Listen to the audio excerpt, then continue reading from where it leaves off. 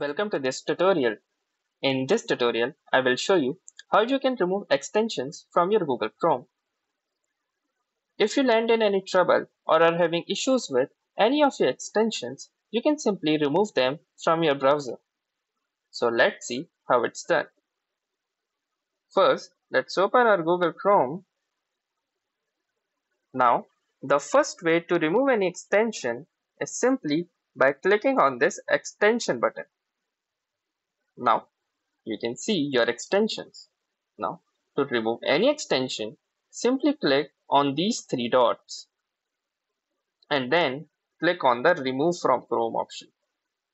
Now if you are removing this extension because it reported any issue or it violated any of the Google's terms and policies, so you can choose the report abuse button as well.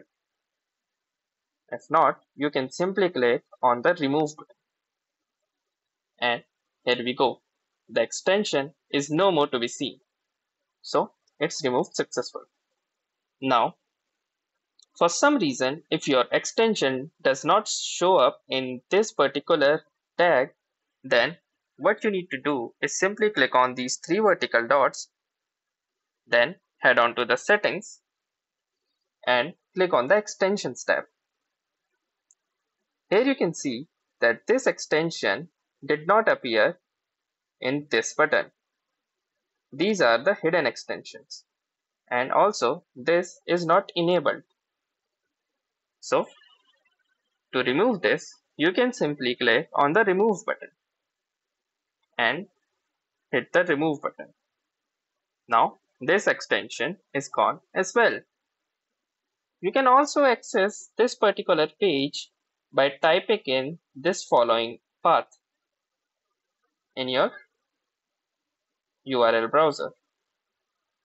Now, like this, in the new tab, on the URL tab, you can type this particular line and hit enter and it will redirect you to this particular page.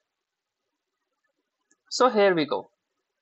Now you have learned how to uninstall extensions from your Google Chrome.